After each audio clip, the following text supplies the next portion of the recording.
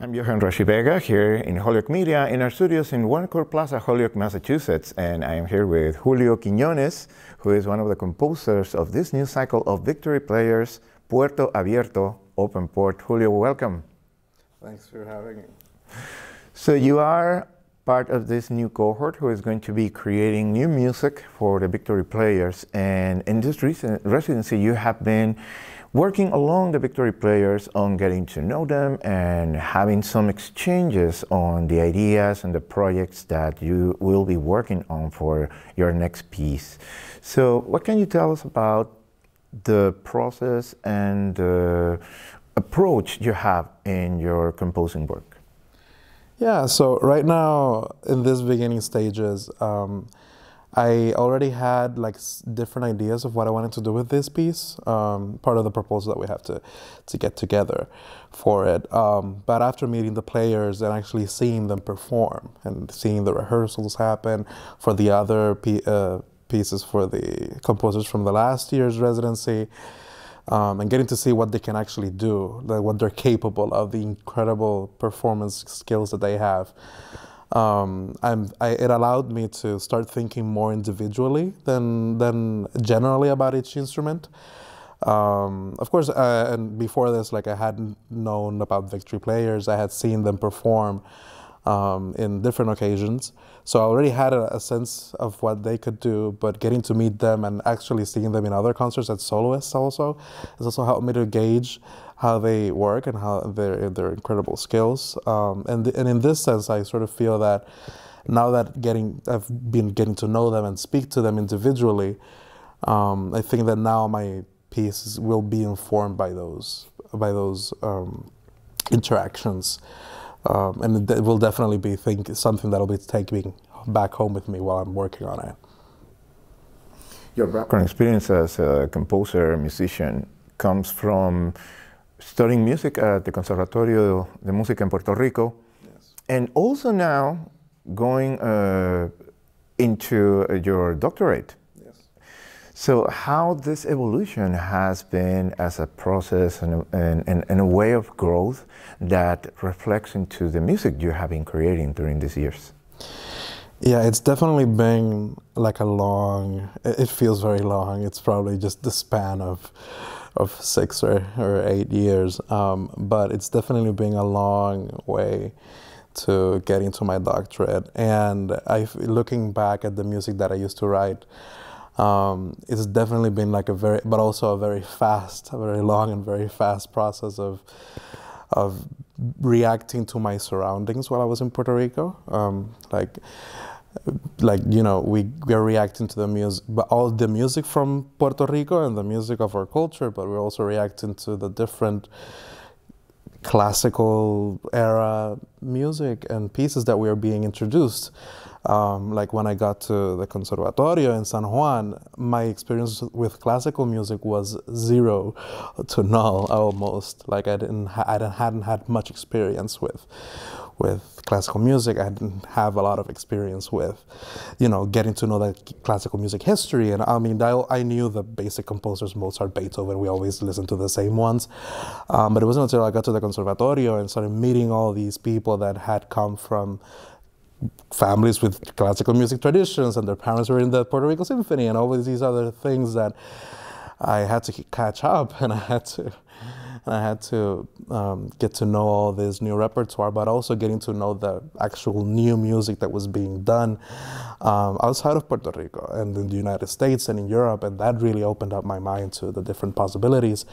And you know, getting to know, you know, getting to know the music of my peers, but also as I left Puerto Rico and went and did my master's at, at Peabody, and now that I'm at the Graduate Center, um, you know, getting to know different people from different kinds of different paths of life um, has definitely enriched the way in which I see the world and the ways in which I engage with my music, um, which has sort of changed as I've been, you know, as as I think that after I left the island, um, my perception of Mm, you know, the work that I do has changed and my interactions with Puerto Rican culture and tradition, um, that perception has changed as well. Um, and I, I, always feel that my when I think of myself, I always think of myself in Puerto Rico, even though I'm not there. And I think sometimes through my music is, is a way in which it might not seem very direct, but it, through different aspects of my music, I sort of, sort of remind myself and and you know and be and engage with that culture. Um, because for me, it's uh, you know all of my background and all of the things that I am processing, they're always there, even though it might not be apparent. And even though while being in a, in a conservatory is mostly focused on the history and legacy of European composers for basic knowledge, it is also important to acknowledge the importance that Puerto Rico has as a place where a lot of great composers and great music created in the Caribbean mm. come from. And how does that make you feel being now where you are, creating music that is a contribution to that repertoire of new music that represents Puerto Rican culture? Yeah, it's definitely something like composers in general. Um, we are we are always fighting with the canon and fighting with the idea of a composer. Um, and whenever we think about, and more specifically in Puerto Rico, when we think about classical composers, we have these these big figures of Amaury Veray, Hector Campos Parsi, um, Jack Delano, who wasn't Puerto Rican, but he contributed a lot to, to the classical music um, space there. Um, we are also we are always um, you know shown these big figures as oh these are our composers, these are this is what they did, um, and it's sort of and it's a very interesting challenge because we see what they did and you know we want to do things that are different. We don't want to be repeating their same ideas like the big nationalist school of music there. Um, it was very interesting and it was very important for its time um, and we can you know learn a lot of great lessons from them. But also there's a lot of things that we can talk about the present um, like I was, I, I've been researching a lot of that, a lot of that time because for work I've been doing my doctorate, and you know, a lot of their initial ideas for the for that movement revolved around taking traditional musics and elevating them to the uni universal arts and universal sort of um, aesthetics of classical music. And what does universal mean? We're talking about we're talking about European wide comp- composer classical music tradition, um, and that's a very limited way of actually, you know, understanding this and actually performing this. I think respect and you know an acknowledgement of our culture is very important, but also to be honest about what it is that we're doing, um, and sort of treating these materials in a way in which you know feels honest, as I said, but also doesn't diminish them or you know make them seem like a trite almost.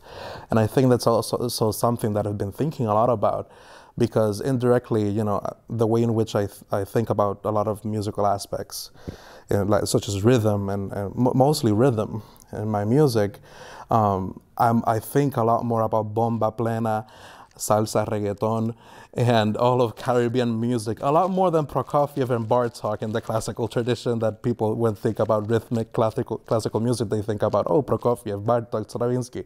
I think a lot more of the Caribbean in that sense. So, I, I you know, this very rich tradition is there. Um, there has been a lot of composers um, in this program, actually, past editions of Victory Players, and also other composers that have contributed to this. Um, and I just feel that through this project specifically, I sort of am putting the first footholds into how I'm starting to really work through these very big issues. How it has been the experience talking to the victory players, exchanging ideas, and getting that sense of how their skills can represent what you have now in mind to start creating your piece that it will be part of Puerto Abierto. It's been a very illuminating experience seeing how they work um, because uh, I know that in past editions they have, as I said, they have worked with Puerto Rican composers, and they have taken like workshops and different sort of, you know, different. Um, preparations they've made to actually understand different Puerto Rican music. So in that sense, Um, like I had uh, um, an individual meeting with Nathan, the pianist, I, I have uh, this whole sketch of what I want the piano to do in certain parts, and he was identifying different rhythms. Oh, this is plena, right? And this, and like, yeah, yeah. And so this awareness and understanding that they have from this, from these traditions, is very is cool and it's very good because um, you create a sort of shorthand into, of course, I'm not only writing plena, I'm, I'm elaborating a lot of different things, but the, but the very fact that they're aware of the rhythmic qualities that this music has is incredible because, you know, I've had the opportunity to to write for different musicians of different walks of life, and they haven't been, this, you know, aware of the importance of certain rhythmic qualities that um, these these kinds of music uh, and, and these kinds of inspirations can have. And so knowing that they have this awareness and that they pay very close attention to these original materials and respect it and sort of acknowledge it in their performance is something that's been very, very reassuring. How it has been, aside the experience of being with the Victory Players and beginning the preparation of your piece, to be here in Holyoke, where is the largest community of Puerto Rican people living outside of Puerto Rico, how does that connect with you or, or give you another layer of energy or inspiration for your work? It's been surprising. Um, I wasn't expecting uh, to to to be the, like this kind of place where there was a lot of Puerto Ricans. I, I didn't have any knowledge of it. Um, and it's very good to know. Like I, when the first day I got here, I went to a, a, a convenience store, and just as I opened the door, this lady comes up starts speaking in a Puerto Rican accent, and I was like, "Whoa, okay." I was not expecting that at all. I, I, my my experience walking and my soundscapes uh, walking around, ever since I moved here, I always feel like I always hear distortion. Like I mean, I know English, but you know, always hear distortion. And whenever I hear someone speaking Spanish, it's like, oh, something clear happens out of all of the distortion. Um, so it's it's very good to know that there are people, you know, that there's a very big community here, and that there's you know our culture is sort of um, maintained and it's sort of preserved in, in these kinds of spaces. Um, I'm re really looking forward to getting to know the place.